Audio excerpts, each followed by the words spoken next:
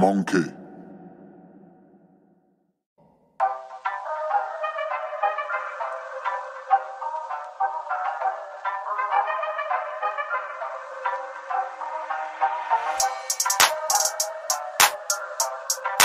Devin Haney versus George Kambosos 2 is official and it will be happening in Melbourne, Australia.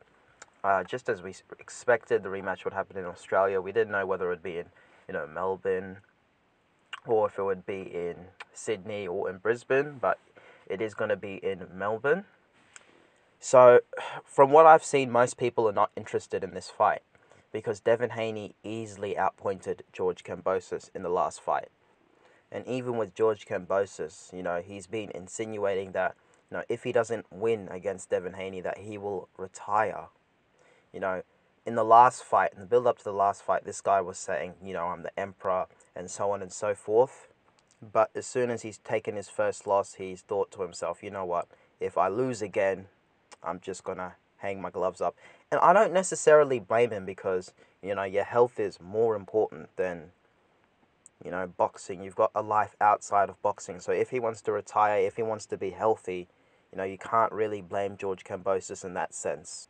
But yeah, his whole demeanor has changed since losing to Devin Haney. He's a lot more quiet and he seems to have the challenger mindset.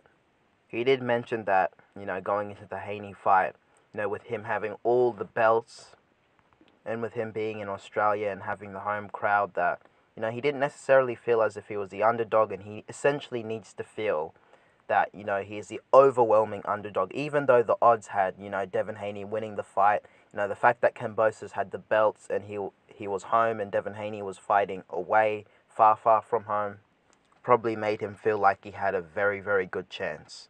You know, from my understanding, Kambosos took this fight, you know, and he was only going to take this fight if he was receiving the bulk of the money.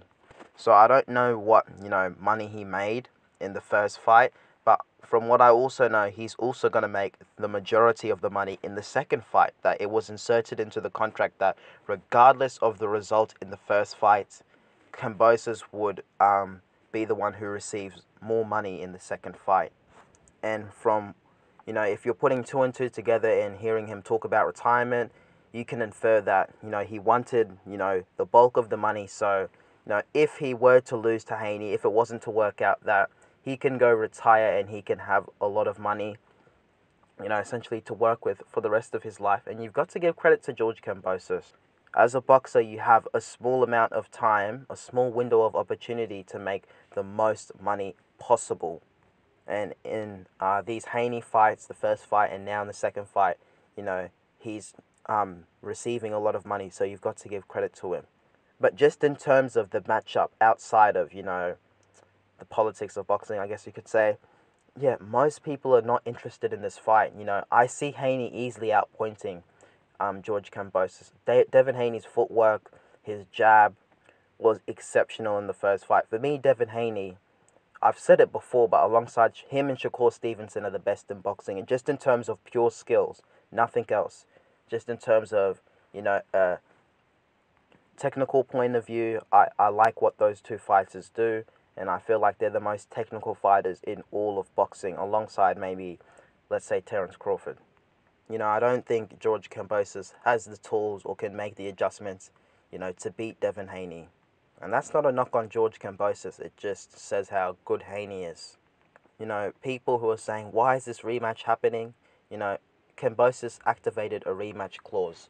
So there's nothing Devin Haney could really do about it. I suspect that if this is not his last fight, I'm talking about Devin Haney here, this may be his second last fight at lightweight because I think he owes top rank one more fight. And I suspect after this fight, Lomachenko would be his last fight at 135 pounds and he might move up. I think, you know, Devin Haney and was talking about essentially, you know, his dad will decide what's next for him. You know, maybe he doesn't want to make uh, do one more big weight cut. Maybe it's just too strenuous on him, you know, because he did look very dry in the weigh-in, and that's very very dangerous. You know, you struggle to make all that weight, losing all the weight. You're killing yourself to make the weight. You won't feel 100% once you're in the ring.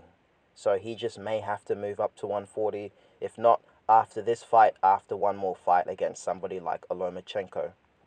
And I've said it time and time again. I'm out of all of the fighters currently, I'm most impressed with Devin Haney because when Lomachenko had the belt, he, you know, he wanted that fight. He was pressing Lomachenko.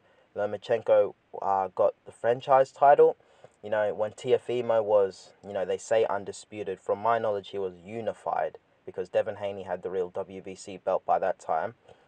So when Teofimo was a unified champion, Haney wanted to fight Teofimo. Teofimo lost to Loma, not Lomachenko. My apologies, he beat Lomachenko.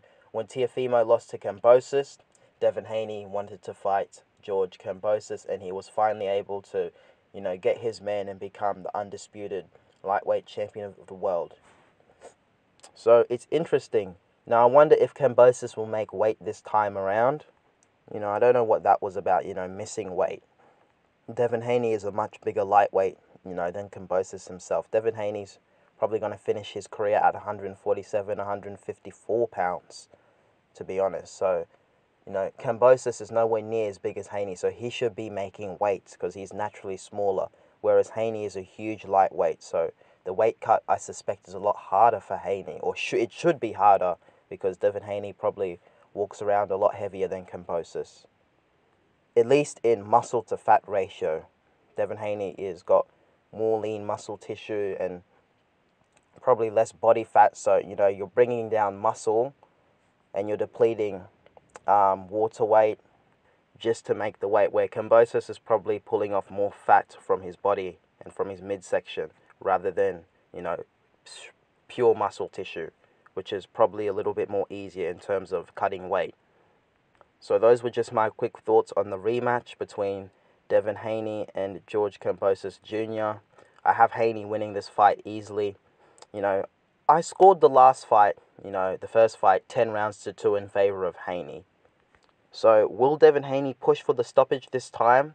I know a lot of people were critical say, you know, Haney's boring and so on and so forth. You know, that's his style. You know, let him be. Not everyone has to be a pressure fighter, a knockout artist, or do that rock'em sock'em boxing. You know, if he wants to be technical and fight on the outside and use his physical attributes to his advantage, then that's what he should do.